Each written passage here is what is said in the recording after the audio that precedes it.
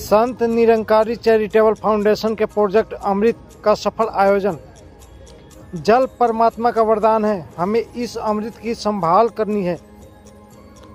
जनपद एटा 25 फरवरी 2024 को सत गुरु माता सुदीक्षा जी महाराज एवं निरंकारी राजपिता रमित जी की पावन आशीर्वाद से प्रातः आठ बजे अमृत प्रोजेक्ट के अंतर्गत स्वच्छ जल, स्वच्छ मन परियोजना के दूसरे चरण का शुभारंभ आगरा रोड स्थित हजारा नहर पर निरंकारी भक्तों ने सफ़ाई अभियान चलाया।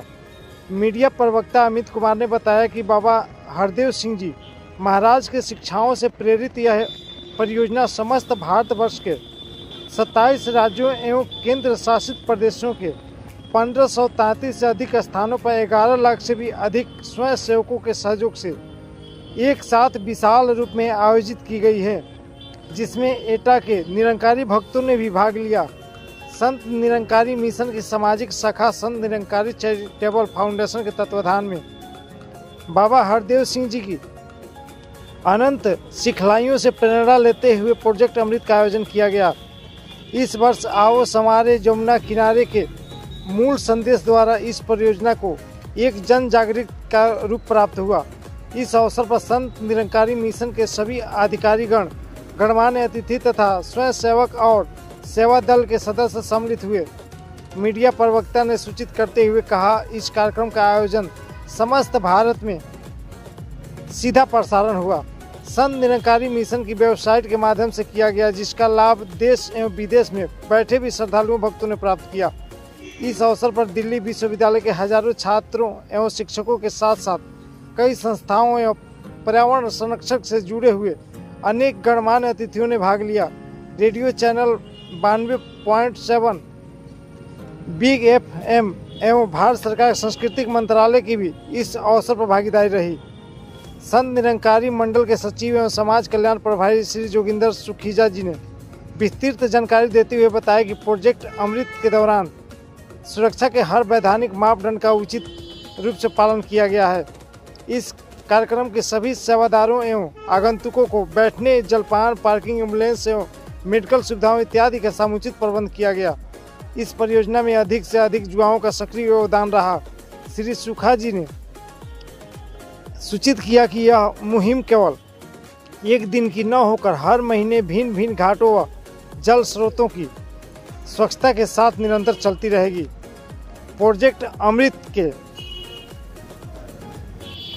दूसरे चरण का आरंभ करते हुए निरंकारी राजपिता रमेश जी ने सतगुरु माता जी से पूर्व अपने संबोधन में कहा कि, बाबा हरदेव सिंह जी ने अपने जीवन में हमें ही यही प्रेरणा दी कि सेवा ही भावना निष्काम रूप से होनी चाहिए। न कि किसी प्रशंसा की चाह में। हमें सेवा करते हुए उसके दर्शन का शोर करने के बजाय उसकी मूल भावना पर केंद्रित रहना चाहिए। हमारा प्रयास स्वयं को बदलने का होना चाहिए। क्योंकि हमारे आंतरिक बदलाव से ही समाज एवं दुनिया में परिवर्तन आ सकता है। एक स्वच्छ और निर्मम मन से ही सात्विक परिवर्तन का आरंभ होता है। सतगुरु माता जी ने प्रोजेक्ट अमृत के अवसर पर अपने आशीर्वचनों में फरमाया कि हमारे जीवन में जल का बहुत महत्व है और यह अमृत समान है। जल हमारे जीवन का मूल आधार है। परमात्मा ने हमें यह जो स्वच्छ एवं सुंदर सृष्टि दी है इसकी देखभाल करना हमारा कर्तव्य है। मानव रूप में हमने इस अमूल्य धरोहर का दुरुपयोग करते हुए इसे प्रदूषित किया है। हमें प्रकृति को उनके मूल स्वरूप में रखते हुए उसकी स्वच्छता करनी होगी। हमें अपने कर्मों से सभी को प्रेरित करना है, न कि